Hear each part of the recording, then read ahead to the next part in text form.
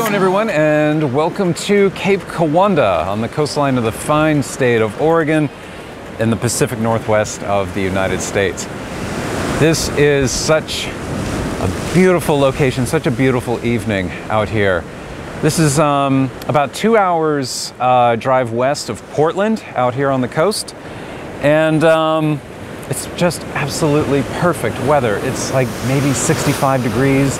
It's sunny, it's warm, there's no humidity. I mean, you can see here that I'm wearing a, a, fleece, you know, of all things, because it, you know, once the sun gets low, it does get kind of cold at night. Um, but really, really beautiful out here.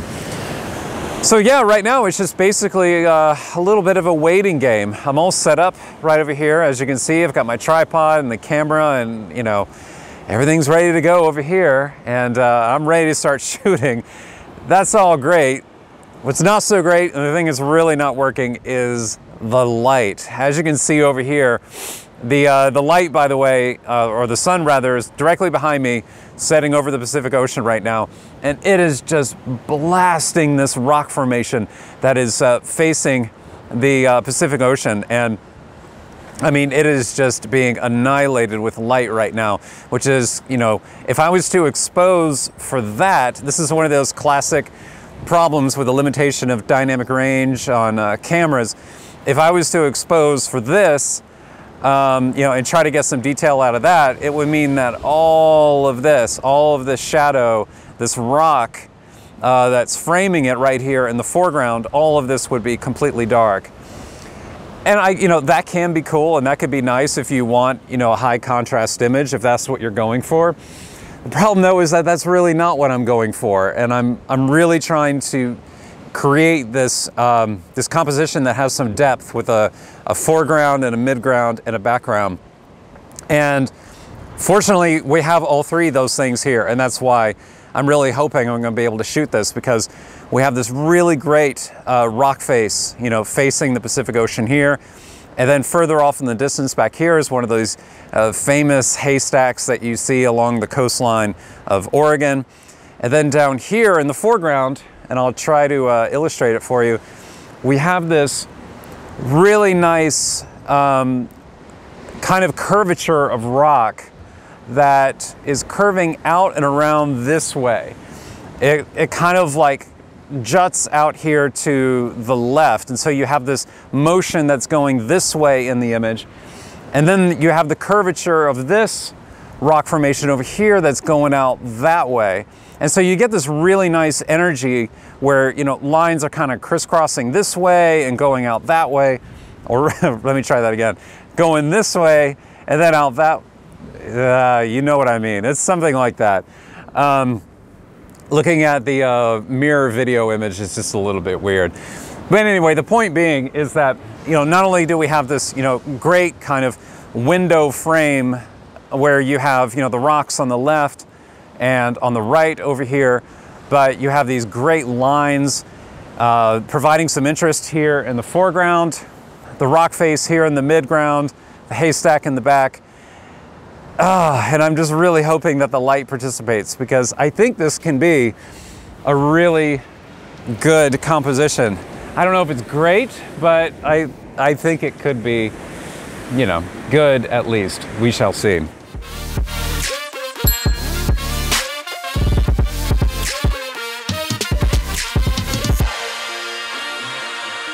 right, so I'm really glad that uh, I decided to hike around a little bit and um, see what I could find by coming out this way.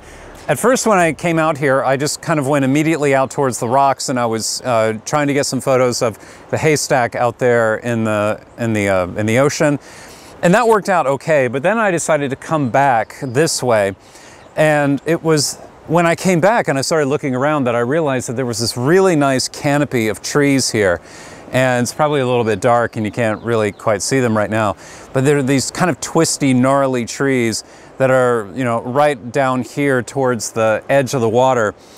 And I came back here in the trees because one of the things I always, you know, try to look for is, you know, something of interest in a foreground or something I can shoot through in order to make a background more interesting. And I, I started exploring back here and I'm so glad that I did because as you can see, I found this uh, rather nice composition, I think. This is one of those classic kind of like frame within a frame types of uh, things where sometimes you, when you're taking a photo of, of, an element, you try to find some type of uh, framing device around it, you know, whether it's, you know, shooting through a window or shooting through some kind of opening, something that is kind of like a picture within a picture, if that makes sense. And it's just one of the, you know, kind of like uh, compositional tricks that you can sometimes use to get uh, an interesting photo. And sometimes it works and sometimes it doesn't. I'm hoping it works this time because I feel like I found a really nice frame here. There are these branches coming out of this tree that's uh, directly to my side here, and all of them are arcing down towards the ground. And you have these branches on the left and branches on the right, and it just so happens that right in between these two really thick branches are all these, you know, just really nice cluster of, uh, you know, pine needles down this way. And then in between them, out here, uh, it's kind of hard to frame it just right here for the video. But then, you know, in between the branches here, you can see out there in the distance is the haystack. So what I'm trying to do is, it's been a real challenge, honestly, getting the tripod into just the right place. And I still don't know if I have it in quite the right place, but this is always a challenge where you're, you know, you have kind of like all these things coming in from the edge of the frame and you're trying to compose it in such a way so that none of the branches are touching the haystack or getting too close to it. And you want the haystack to be, you know, in just the right place in between these branches. And so I'm having to, you know, like raise the tripod, lower it, move it a little bit to the left, a little bit to the right. I'm just kind of like, oh my God, I'm just kind of like just gently nudging it, you know, one direction or another, trying to get it into just the right place. And it's a little bit tricky.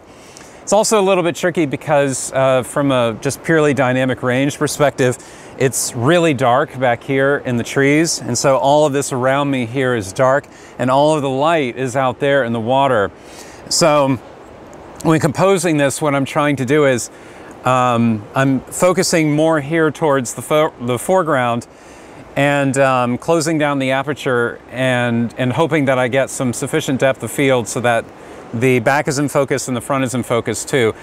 I might do some focus stacking just to be on the safe side and you know where you know you take an image where you know it's in focus you know towards the foreground and then another in the background and then you blend them together.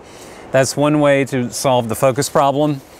Um, I think I might do that just to be on the safe side. But the other thing I'm doing is, is that I'm bracketing my exposures too.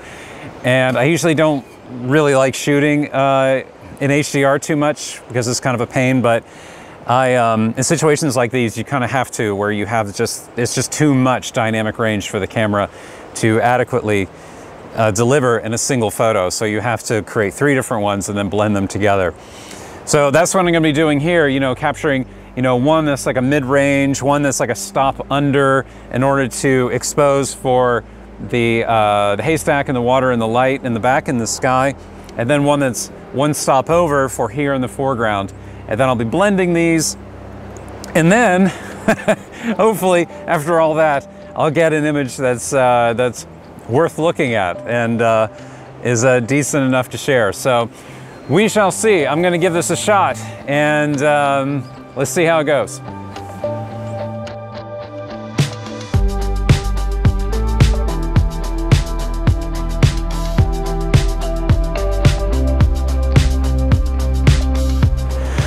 So I think it's going to do it for Cape Kiwanda. Uh, this was a really beautiful evening out here.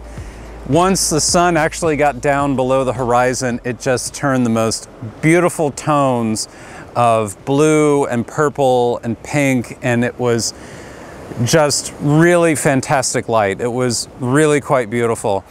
As you can see, it's getting really quite dark now. And uh, you can kind of barely see me at this point. Just trying to squeeze in a few last photos back here at the first spot where I was taking photos earlier.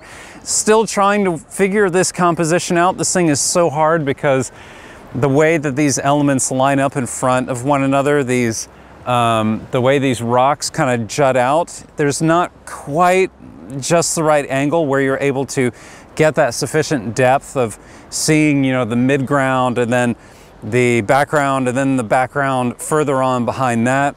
They all kind of get lumped together no matter what angle you pick. Um, and that's, that's obviously a little frustrating. So I've been shooting low, shooting high, trying to get it, you know, from all these different angles.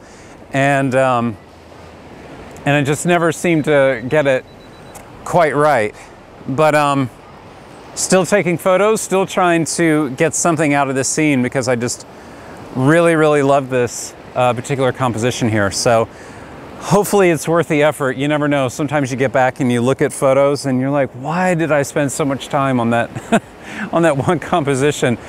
Um, because there was something about it when you were in the field and shooting it that you could see and you're just working and working and trying to get it.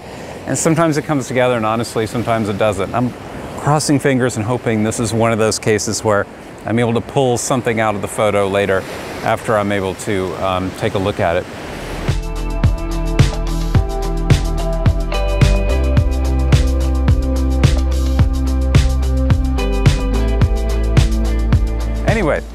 Thanks for being here for another one of these uh, travel vlog videos. I appreciate your time, your attention, and your interest, of course. If you'd like to follow along and um, be notified of future videos and all that good stuff, hit uh, hit the, the, hit the subscribe button below, and uh, be sure to give the video a thumbs up too. So that's it for Oregon. Thanks for being here. See you next time.